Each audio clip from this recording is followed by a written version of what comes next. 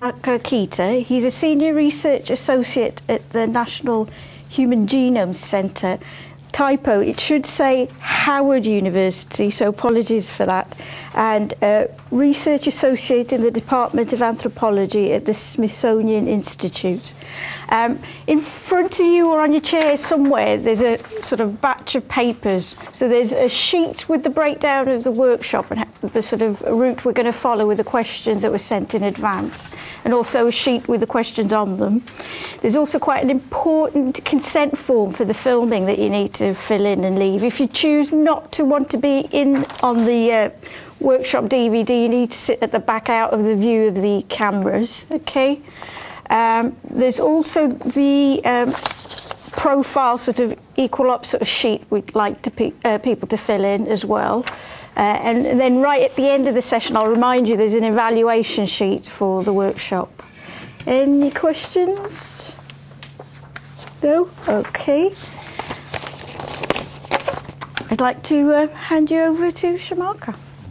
Good afternoon, and thank you for coming. Uh, I am going to uh, open my remarks by introducing some misconceptions uh, about uh, uh, Egypt, specifically ancient Egypt. And then I'm going to answer the questions that have been submitted by various people for this workshop. After these questions have been answered, I will do a slide presentation that will cover some major concepts that deal with uh, notions of origins, but also different fields such as archaeology, physical anthropology, um, including some genetics, as well as historical linguistics. Uh, because these are the kinds of topics that will allow any sort of objective uh, analysis of any type of origins questions. Of course, origins itself is a, is a very uh, a difficult subject, and sometimes people confuse uh, origins with explanations. But we shouldn't do that, you know. Uh, knowing that someone has come from London or from Reading doesn't necessarily tell you how they're going to act, what they're going to do, what they're going to write. And uh, we can expand that perspective in, in many different ways. Would you please turn on the slide projector? What's it on? Oh, it's on. Okay. Misconception number one ancient Egypt was not in Africa. Well, uh, I think this is sort of obvious. Ancient Egypt was in Africa. Its culture began in southern Egypt. Uh, and as an aside, I would say that the Arabian Peninsula split off from Africa in geological time.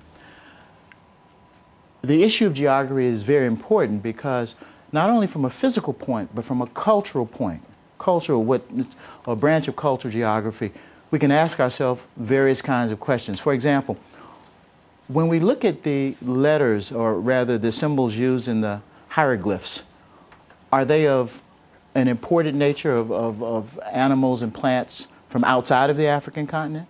Or are they from within the African continent? When you look at the hieroglyphs and you look at a lot of representations, you see that the culture is grounded very much there. And when you look at all sorts of objects, there are things that have come from the outside, very obviously. But when you look at the early things, uh, they are local. Ancient, misconception number two ancient, the ancient Egyptian, ancient Egyptian linguistically is unconnected to the rest of Africa. Uh, this is not true. Ancient Egyptian is a member of the of Afroasiatic, a language family whose members are primarily in Africa, and according to most linguists who actually study Afroasiatic primarily, otherwise called Afrasan or Afrasian, it originated in Africa. What is the evidence for this? Linguists use uh, two primary principles to locate the origins of a language family or a phylum the greatest diversity principle, and also uh, another principle called uh, the least moves principle. The greatest diversity uh, principle basically says that wherever you find the greatest number of members of a language family or of plants or what have you, is most likely, with few exceptions, to be its place of origin. In the case of Afroasiatic, five or six of the, the members, depending on how many members you believe are in the family, are found in Africa and Africa alone. The sixth member, or rather the sixth or seventh member, is found in the Near East, namely the Semitic family. Uh, and it actually returned to Africa on two separate or three separate occasions. Uh, one time with the Phoenicians, uh, another time in the Horn of Africa, and also uh, much later on in the Islamic period with the uh, uh, emergence of, of Islam in North Africa with the coming of people from the Arabian Peninsula. The other thing about language that's helpful is that loan words will often tell you about where institutions have come from. So when you look at, for example, in England, aspects of the, uh, the English Constitution or some early documents, you see, of course, the Norman French. When the Queen opens Parliament, she uses Norman French. There's a historical reason for that. When you look at the words for high officials and what have you in ancient Egypt, major ritual objects, etc., these words are all local words. There's no evidence that they were imported from the outside. Okay? No evidence for that. Were there outside influences? Yes. They were all accepted on terms of the people in the Nile Valley. Okay? That's very important to understand. The other thing about uh, historical linguistics, too, in terms of the anchoring of the Afroasiatic family, is that the most undifferentiated members, or the members that seem to be sort of the oldest or the, the, the most archaic, are very much confined to places in East Africa, specifically in the Horn. So this is another clue that uh, the origin of the family is in Africa.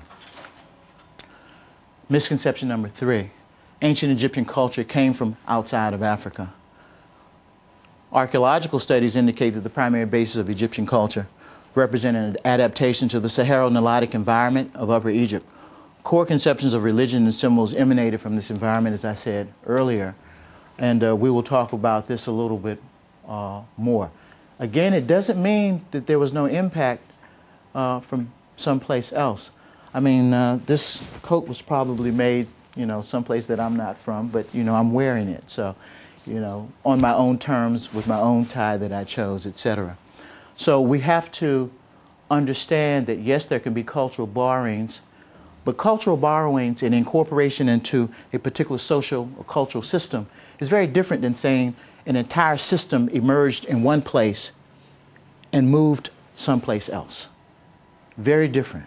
It's a very different uh, thing.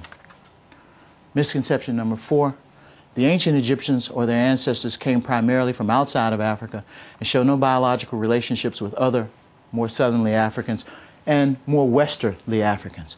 Anthropological studies, meaning genetics also on the living populations under the assumption of continuity, uh, indicate that the earliest Egyptians had more biological affinities with Nubian and other southerners than with even late dynastic Delta Egyptians. This is not a new finding. Uh, there is a way to debate any of the studies that have been done with standard morphometric approaches. Modern DNA studies, I will talk about later, but they also clearly indicate an interconnection of African peoples. Nevertheless, these ties exist, they're real, and they can be demonstrated. What I'm going to do now is answer some questions that were submitted uh, to this workshop.